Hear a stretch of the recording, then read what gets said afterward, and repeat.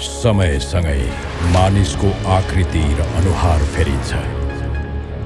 समय र फेरिएको त्यो अनुहारले कर्मअनुसारको अनुभव बटुलेको हुन्छ। बटुलिएका ती अनगिन्ती अनुभवहरूबाट मुलुकले के पायो त?